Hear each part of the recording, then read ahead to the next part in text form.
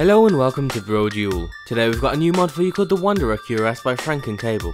The mod adds a new set of armour to the game that comes in both a light and heavy version, and it's called the Wanderer set and it consists of 4 pieces, cuirass, hood, boots and gloves. With this armour set, the heavy and light versions actually differ in appearance. The heavy set features a steel plate chest plate while the light version doesn't. It has more of a leather front and back. The variation in the two armour types is something you rarely see and it's a nice addition to this great armour set, as it makes the heavy armour set actually look and feel heavier compared to its lighter counterpart. The armour set itself has definitely been designed with an explorer in mind. You've got some pouches around your shoulder to carry some extra equipment and the whole set really looks like it belongs in Skyrim.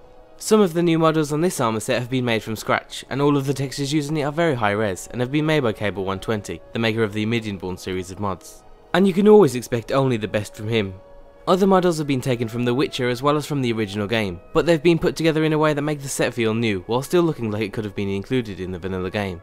Both Cabal and Frank Deemer are experienced modders, and everything they release is always of a high quality, and this is no exception. The set looks great and we'd recommend it to anyone who likes lore-friendly armor sets. And that's all for this spotlight, remember to leave an endorsement on any mod you enjoy using, and thanks for watching.